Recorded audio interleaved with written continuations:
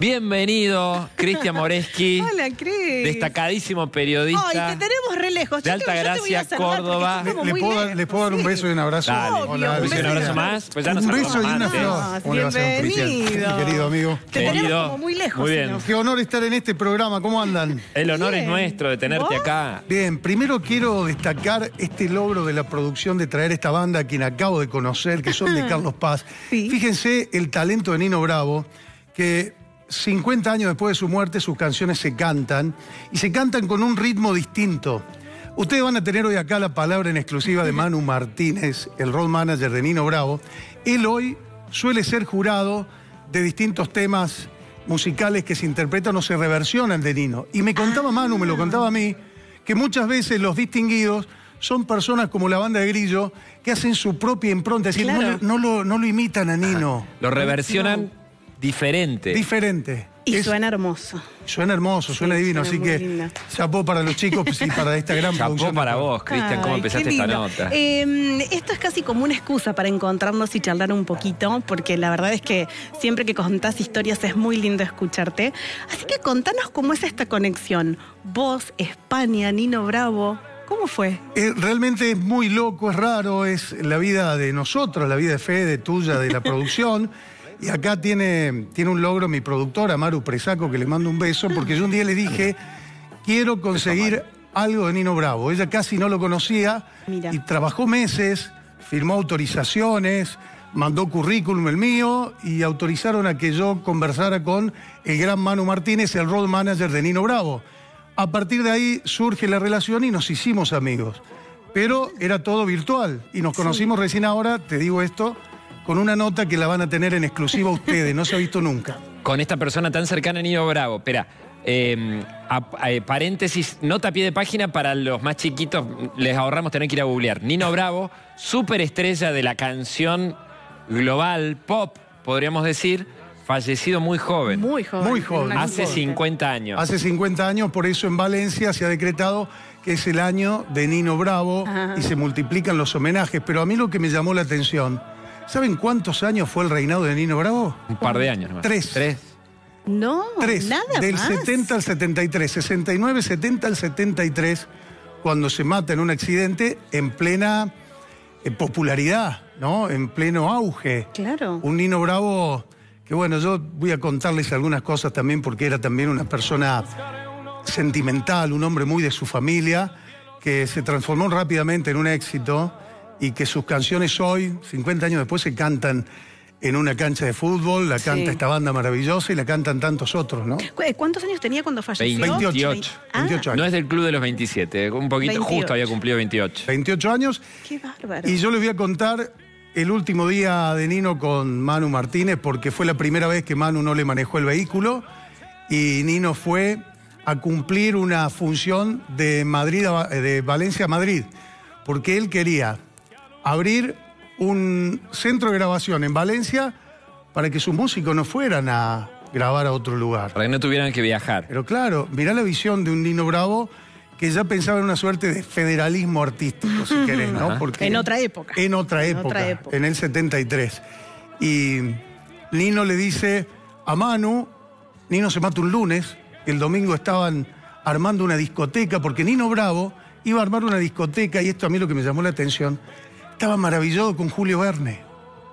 La discoteca se iba a llamar Julio Verne, estaba leyéndose todos los libros Todos de los Julio libros. Verne, y cada una de las salas de la discoteca tenía el nombre de los libros. de, uno de, lo- de una de las historias. Viaje al centro de la Tierra, 20.000 leguas de viaje submarino y demás. Entonces le dijo a Manu, vos no me vas a manejar, quédate el lunes que necesito que me hagas trámites en Valencia y yo me voy a ir a Madrid con el dúo Humo, que era un dúo que él estaba representando, él tenía mucha fe, decía, estos van a ser unos pequeños Beatles, y su guitarrista Pepe Juezas Y se iba manejando él. y se iba manejando él. Que él no manejaba, alguna vez le compartía el volante, el Manu, en esas horas de viaje, porque se aburría, entonces Sí. lo dejaba manejar, un BMW de color gris, y la primera vez que se va a Nino, en esas carreteras que no eran las de hoy, Claro, nada que ver. sin condiciones de seguridad, porque el cinturón de seguridad en esa época no era obligatorio, no lo tenían todos los Nadie autos. lo usaba, claro. Nadie lo sabe. Qué bárbaro. Bueno, el máximo ídolo de la estrella o de la canción pop de España se muere en un accidente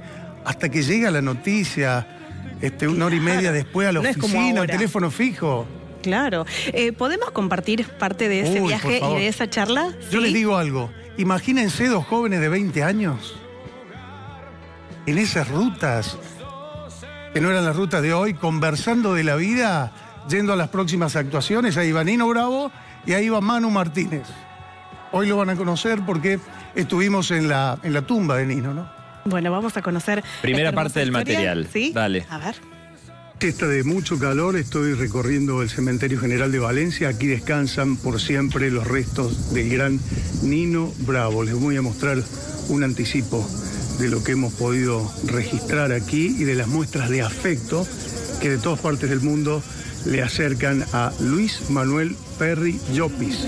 Te quiero, vida mía, te quiero noche y día. Cementerio General de Valencia, el silencio y el respeto que van haciéndose presentes en este lugar y la presencia de un amigo, el histórico road manager de Nino Bravo, Manu Martínez. Hola Manu, ¿cómo estás? Buenos días, Cristian. ¿Qué tal? Muy bien, estamos aquí para rendirle un homenaje, para que siga siempre eterno en nuestros corazones el gran Nino Bravo. Me decías que en esta iglesia Sí, trajeron el cuerpo de Nino después del accidente. Efectivamente. Aquí tenemos aquí detrás donde Nino tuvo su primer descanso en el otro mundo después de, de desaparecer antes de enterrarlo en este mismo cementerio. O sea, lo trajimos de Madrid por carretera, lo dejamos aquí por la noche, al día siguiente se hizo la capilla ardiente y al otro día ya se enterró, que fue el día 18, día 18 de abril de 1973. Me acuerdo como si fuese ayer. No estaba en los bancos, pero aproximadamente aquí se puso el, aquí se puso el, el féretro, aquí en medio, y el resto de las personas, sobre todo los familiares y los más íntimos, estuvimos velando esa noche por él.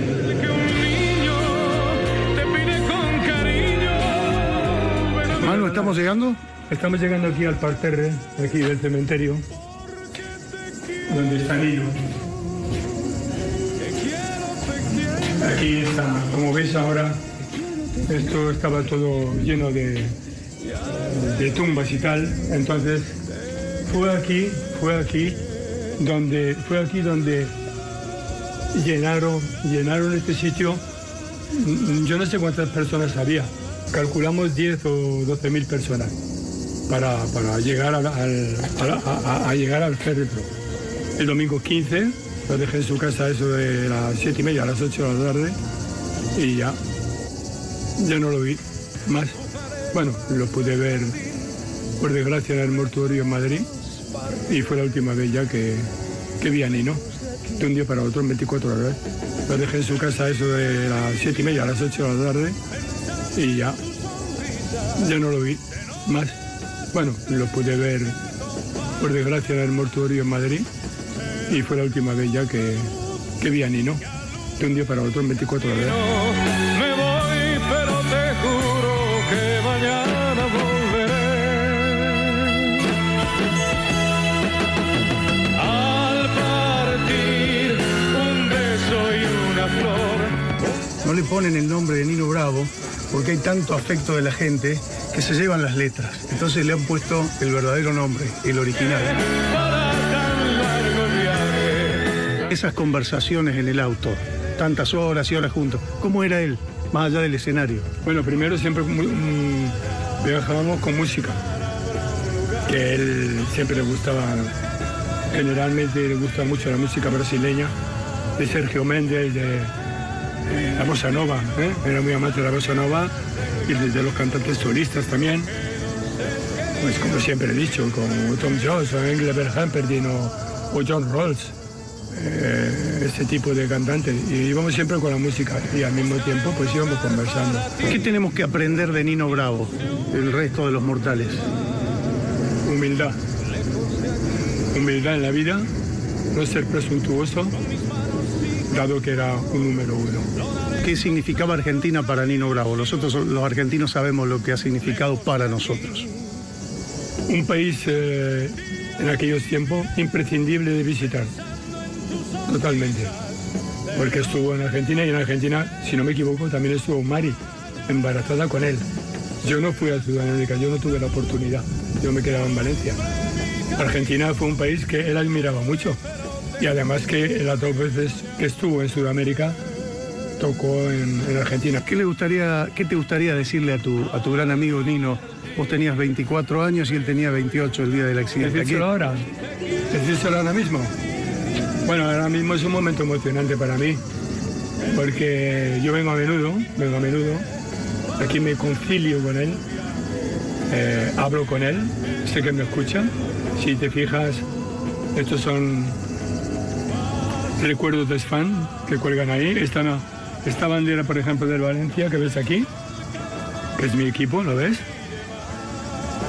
Esta bandera de Valencia la puse, la puse hace dos años cuando nuestro equipo ganó la Copa de España. O la foto pusieron, dice un beso y una flor del Perú llega ese mensaje. Efectivamente, efectivamente. Aquí está la portada, aquí está la portada también del libro, aquí está la portada del libro, y todo el resto pues son señales de, gente que viene por aquí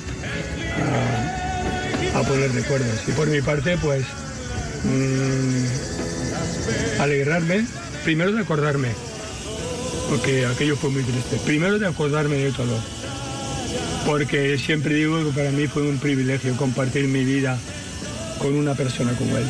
Yo fue tantas anécdotas con él que eh, estoy feliz. Cada vez que vengo estoy feliz. Sé que me está escuchando. Seguramente me hubiese dicho, oye, cállate ya, ¿eh, Manu? O tal, me hubiese dicho algo.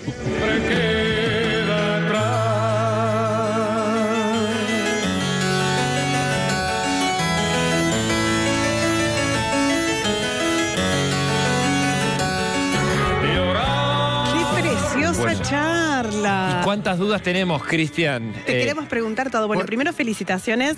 Eh, es increíble que haya pasado tanto tiempo y que ellos sean tan jovencitos y que eso haya perdurado en el tiempo. 24 años tenía y 28. A mí eso es lo que me llama, me llama la atención, ¿no? O yo referencio, dos jóvenes en un auto, es como si yo te tocara llevarlo en, sé, Abel Pinto, y me quedo corto con Abel Sí. Pinto, porque Nino triunfaba en España y en toda América, era una figura, sí. ¿no? Era global.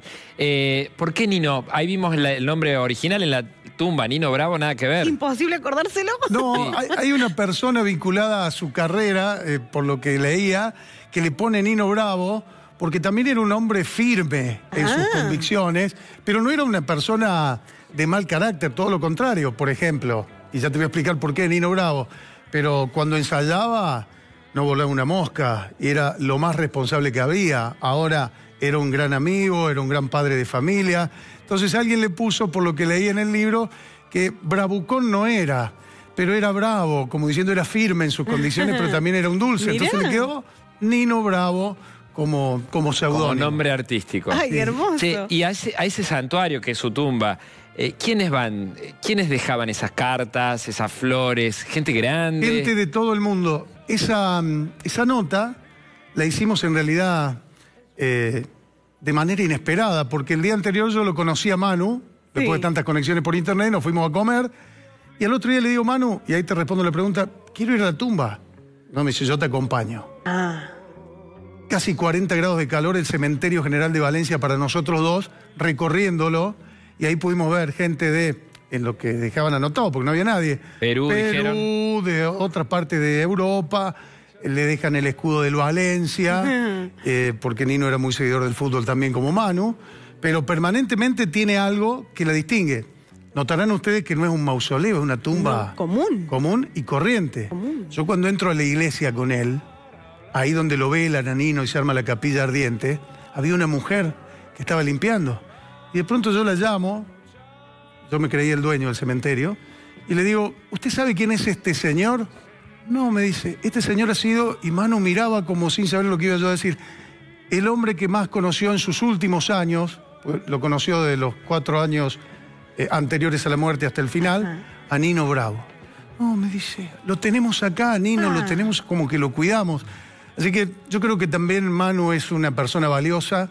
Hoy ustedes tienen en exclusiva este testimonio, así que Bueno, valórenlo gracias. porque muy pocas veces da entrevista. Lo valoramos, por cierto, Sí, por cierto. claro que sí. Eh, ¿Qué tenés en la mesita? Y te pido cuidado con la copa que llevamos en No, el no. último trimestre, 10 copas No, rotas. no, por favor, tranquilo que está en buenas manos la copa. Solo, es Bueno, acá- verdad, es verdad.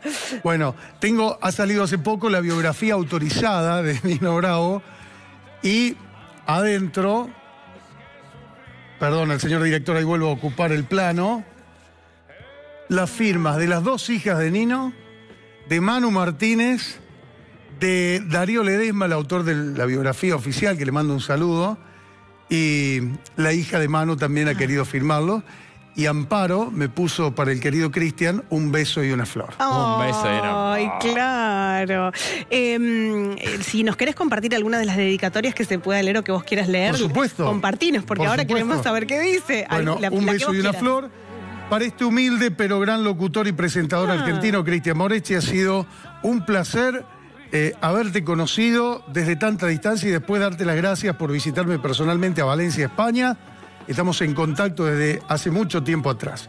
Te deseo todo lo mejor y mucha suerte en tu vida. Un fuerte abrazo, Ah. Manu. Para mi querido Cristian, un gusto, un beso y una flor, Amparo. Y también, con todo cariño para Cristian Moretti, un beso y una flor, Eva, ¿no? Y Darío Ledesma, el biógrafo, que ha hecho un trabajo impresionante. Yo las cosas que sé las cuento por lo que me ha contado él, ¿no? Para mi amigo Cristian Moretti, esperando que disfrute de la historia del gran Nino Bravo con un buen mate en la mano. De las notas más lindas que te tocó hacer o de las historias más lindas que te Sí, tocó contar. sí, porque a ver, yo no soy un fanático de Nino Bravo. Una nota Claro. que me- siempre me gustó, en mi casa había discos de Nino Bravo. Yo vengo de Soda Stereo, igual que ustedes, de Los Redondos, de los Cadillac. Pero después de grande vos empezás a mirar a estos tipos con cierta admiración. Y la verdad que me generó una curiosidad y le tiré la pelota a mi productora, le digo, busquemos algo. Y cuando conseguimos, gracias a Maru, esto, bueno, empecé a valorarlo más. Nino tiene este, muchas aristas destacables en su vida. El rol emprendedor, lo que yo le decía, Nino Bravo que iba a abrir una discoteca con el nombre de Julio Verne. Un Nino Bravo que leía, leía a Julio Verne. ¿Cuántas veces decimos tenemos que leer los clásicos? Un Nino Bravo que... tipo con inquietudes más allá de esa voz privilegiada, un, ti- una- No, un tipo con intereses artísticos. Bueno, Manu me contaba que en esas charlas en el auto, dice, yo no lo podía creer. Él le decía que quería hacer ópera, que quería cantar zarzuela, que estaba proyectando siempre algo más y quería y estaba inaugurando en ese, usi- en ese último viaje su carrera de manager, Claro. de representante. 28 años. Eh, Manu después siguió con, eh, siendo representante. No, siendo- no, después Ah, se dedicó ¿no? a la actividad privada. Manu es el cuñado, Claro. su mujer, María Amparo Martínez Gil, era la esposa de, de Nino, ¿no? Ah, Qué bárbaro. Y él, mirá. él era el, her- el hermano, es el hermano de Amparo. Claro. Perdón, el vínculo es, eh, la mujer de Nino es hermana, Hermana de Manu. Manu. Claro. Es hermana de. Manu, Amparo. Que no habla nunca, que no concede reportajes, que mantiene un perfil bajo y que por primera vez ha dado su testimonio en este libro.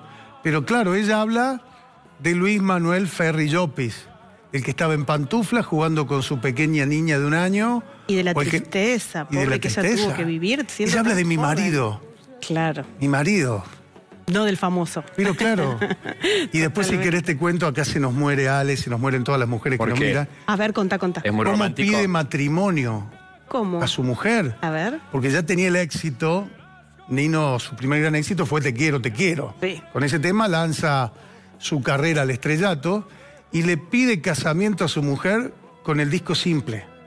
Con el disco de Te quiero, te quiero, le manda una inscripción, palabras más, palabras menos, y después le dice, esto es una propuesta de matrimonio, ¿sí o no? Era por sí o por no, chicos, era el por sí o por no. Vino mucho antes el debate, ¿sí o no? Y ella le da vuelta el disco y le pone sí. Sí. Y se casan en Valencia, en una iglesia. Cuando los discos eran todo en ese momento. Uno quería el disco. Uno quería el disco, y el disco firmado por Nino, ¿no? Ay, lo debe tener guardado. Está en el museo. Ah. Está en el museo de... Ahí lo muestra. Nino en realidad nace en un pueblito cerca de Valencia que se llama Hielo de Malferit. Y ahí está este disco. El micrófono con el que cantaba Nino. que hasta el día de hoy yo le preguntaba a Manu, le preguntaba a sus hijas, algo que nadie me puede responder. ¿Cómo hacía para sacar la voz en un micrófono así chiquito? Y nadie se explicaba ese caudal de voz que tenía Nino Bravo. Hermoso. Una voz única. preciosa. Uno de sus hits es. América, ¿no? Que lo hace después Luis Miguel, tre- 20, 30 años, 20 y pico Y hay años una después. historia con América, porque si mal no Pero recuerdo. Nino América- Bravo es más. Se ofenderán muchos, pero Nino Bravo Uy, es una voz. En la que te metiste, Fede. Yo no te voy a contestar Sacame. porque no. ¿Qué hago yo ahora? Tirame una soga. te dejaron ahí la señora. Bueno, digamos que para distintas generaciones representa distintas cosas. ¿Así? Escucha. Escucha. Tremendo. Es, es el quinto álbum, me parece, de Nino, que lo graba y, min- y- y días después, tiempo después, fallece. Es decir, que él no puede cantar en vivo Ah. América, América, y había un proyecto de él. Él quería cantar esta canción en una gira Claro. que tenía proyectada por toda América, Colombia, Venezuela, Argentina, Chile. Que no se concretó. claro, y quería cerrar con este himno que fue América, América.